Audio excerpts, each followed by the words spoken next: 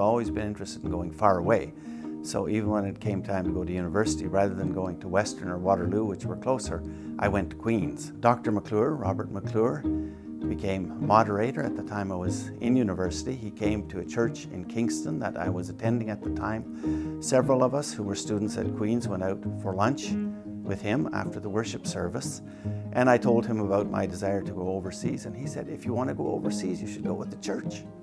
Why? Because the church works through partnerships. So I went to northern Japan, Hokkaido, and I taught in a church-related four-year college for five years, teaching English. I met someone who changed my life and I decided to stay. And we've been together for more than 40 years. My name is Keiko.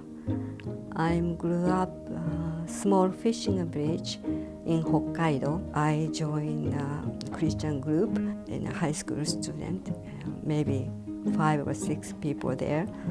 And after that, I worked uh, with the kindergarten, uh, church-related kindergarten. Most of the things, uh, we worked as a team. In 1975, we moved up to a small city called Nayoro in northern Japan, and there's a rural church center there that was established by the United Church of Christ in Japan with the cooperation of the United Church of Canada back in 1960. And we have worked there ever since. And as a rural center, it's supporting small churches, of course, but it's also working with farmers and people who are interested in issues surrounding food and agriculture. So we have twice a year programs that we call Three Loves Seminars, and the three loves are love for God, love for humanity, love for the soil. I think there's a lot that we can learn from the church in Japan because it's been a minority from the very beginning. We're beginning to become a minority here. I don't think we really understand what it means to be a minority yet. The church in Japan does, and they've known that from the beginning, and they've lived with that for more than 100 years. So there's a lot, I think, that we can learn from them. There's also a lot that they can learn from us because of our experience. Of course, without M&S, we never could have stayed in Japan for 45 years, so that's been the main source of support to maintain our presence there.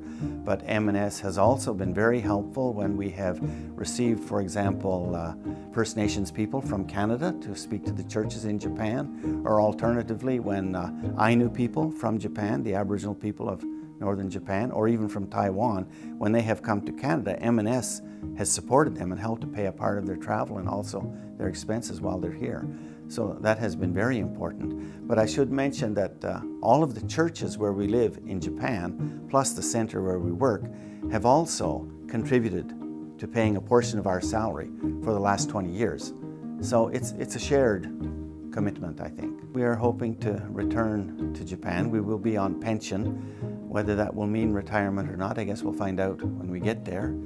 But if we do have extra time, I would like to do more translation, maybe uh, a little bit of writing on my own if possible, and also hopefully spend a little more time in the garden. I don't know how much I have uh, free time because uh, I go back uh, same place and then I still have uh, many things to do but I like to do uh, gardening. There are many opportunities now to work overseas. The most important thing is that when you go to that country, you don't just float on the surface, but you build relationships so that you have a sense of why you're there and what that means, and you know, little by little, come to know what that will mean when you come back to Canada.